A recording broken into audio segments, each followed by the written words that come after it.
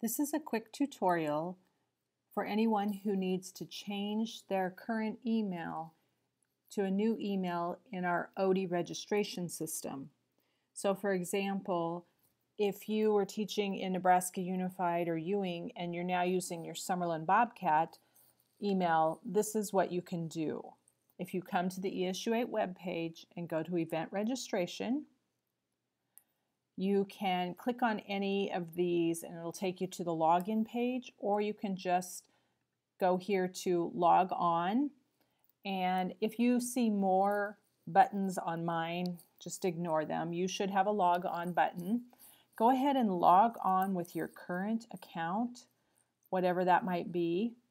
And then over here on the side again under accounts you should have a my account info.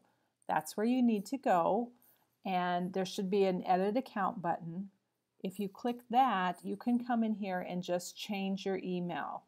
You will probably get an email to re-verify that and you'll have the opportunity also to change your password if you would like.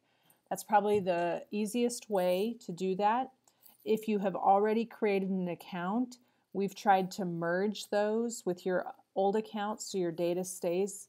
Um, we just don't always catch those as they come through. So we would suggest you changing it this way.